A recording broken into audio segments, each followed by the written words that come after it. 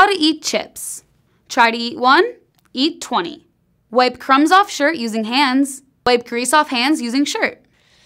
Let's do a fruit dip instead. This simple yet amazingly delicious fruit dip is a perfect snack for you and your girls this weekend.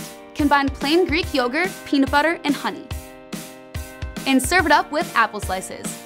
Or if you're feeling salty, instead of greasy chips, try pretzels. Just don't leave it alone or there might not be any when you get back. Thanks guys. Well, while they're finishing off my amazing fruit dip, let's check out this outfit. For my outfit, I'm wearing a skirt from Club Monaco, a top from Free People, a jacket from Style Saint, and some shoes from Dolce Vita. I love this outfit because the flowy top and jacket make the really structured skirt more of a casual, everyday look. Don't be afraid to snack light, even while everyone else is cramming chips in their mouth. It's okay to be different. I don't see myself as ever being like anybody else. So be yourself, and feel free to hit that subscribe button while you're busy just being you. Thanks for watching.